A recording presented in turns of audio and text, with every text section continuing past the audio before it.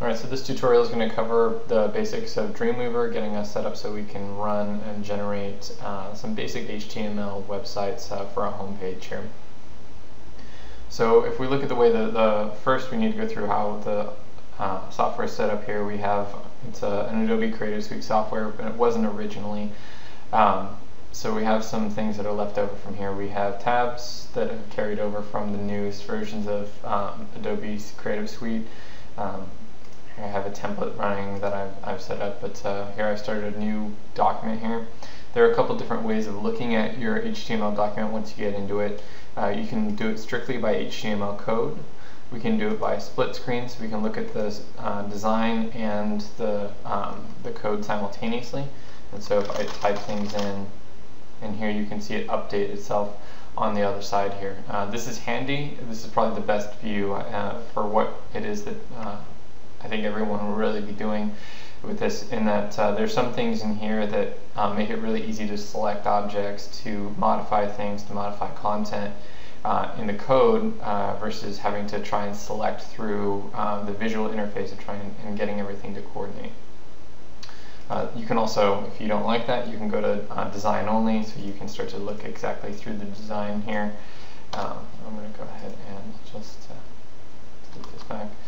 Um, version, you don't necessarily need to work uh, worry about. Uh, you will be able to go through and test the website uh, once we actually get something in here. Okay. A couple things uh, as we go through this. Uh, we should be able to delete that. Uh, over here on the tabs, what you have here are some CSS styles. you can start to modify that and format the text and format of your document. if you guys have CSS stuff that you know how to utilize, you can plug that in. I'm not uh, going to go be going through that at this point. I'm just going to be showing you guys how to add and drop some of this material. Um, in here we can also start to drop and, and organize our managing our sites uh, if, if we so choose to start to engage that.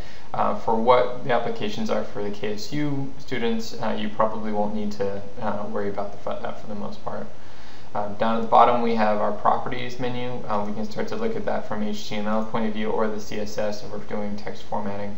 Um, but the HTML, we can start to uh, link images, we can start to adjust and modify um, the targets of those things, uh, uh, so on and so forth. Uh, if you, you might have seen when this popped up, we have a menu toolbar that's correspondent to the, um, the coding version of that. You shouldn't have to really mess with any of this um, unless you get into some of the more advanced stuff. Uh, from that point on, we can start to look at the modifying uh, sort of global parameters. So under the Modify tab, we can go to Page Properties. Uh, this will enable us to start to change things like the background color. We hit Apply. And you can see that updates in here, but it also it starts to, you can see how that starts to update as well in the code.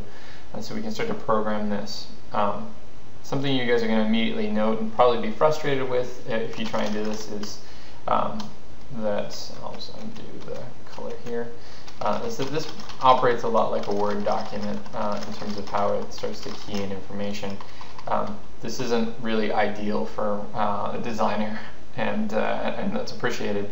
Uh, the way to get around that is you can drop in, uh, we can insert layout objects, and we can drop what's called an AP div in here. Now this is a free floating object. Um, you can type text. you can also insert images into this. Uh, so if we go to insert image, uh, we'll go down here, we'll just pick one of these guys. Okay. And now this guy's in here. Oop. I pulled it out of the, div box there.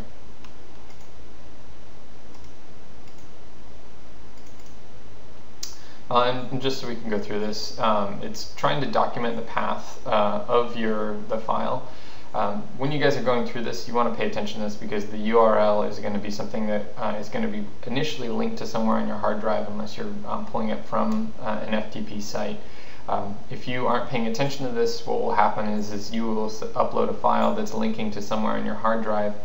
Uh, and obviously people on the web don't have access to your hard drives so when you go to view images and things like that, um, they won't show up. And so uh, you can come in here and start to uh, figure out how that's going to work. And I'm going to go ahead and just drag that. And you can see how that's uh, started to modify here. And so now we can come in here, uh, we can start to scale this down, and modify that, that information as we so choose. You guys can create background images, you can create those things. Um, we can turn this image, now that I've selected it, and link it. We can start to modify this, and we can put more images into the space if we so choose, and we can create all kinds of different navigation tools in here. Uh, if we decide, come in here, the source, the SRC here, uh, if we go ahead and scroll back through, you can see that this is still linking to somewhere on my hard drive. Uh, if we go into the code, you can also see that this is linking to somewhere on my hard drive. Uh, this is probably going to be an issue for many of you as you start to deal with file management. Uh, wherever it is that we're going to be doing, because we're going through and hosting through Dropbox, uh, we're going to go ahead and just delete that extension. So all we should see here is the file name as the source code and what that will do is when we're in Dropbox it'll look for the source file here, this um, project 01 underscore 01.jpg in the same folder that the HTML, sorry, the HTML file is located, which is to say that we have one Dropbox folder that holds the entire website. It'll tell it to basically look in there for those um, that information.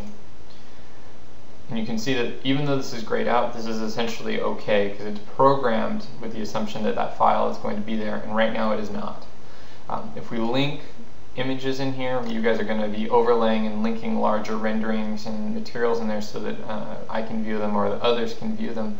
Um, it's the same rule. We can come in here and can here paste this. Uh, in this instance, we're going to be calling that a large so that it'll take us to uh, a separate page that actually hosts the full-size image. Okay, and then in here we can also start to get into some parameters and program the dimensions of this. You'll note that that's all accessible from the code as well. Uh, code, the code, dealing with the code is really nice from that sensibility. Um, so you, what you'll end up doing as you go through this is you guys are going to design your websites graphically in here using these AP divs, locating images in them, and then go through and clean up all of those things uh, and then upload to the site. And we'll be going through that a little bit more as we move through it. Uh, but we can go ahead and save that. And uh, I'm going to go ahead and just say this is the desktop. I have a website already established. Um, what you're going to be saving this as is an index.html. This is the homepage for your site. Um, this is an agreed upon standard um, from web developers that basically states whenever you have an index file located in the folder, that's the file name that the, the folder is going to look for, assuming that you're actually going to be hosting a web page here. So it's automatically going to look like look for this file and then upload that in the proper HTML format. If you, that file is named anything else, it will not upload properly. So that's something you guys want to pay attention to uh, as you start to negotiate some of those transitions. Okay.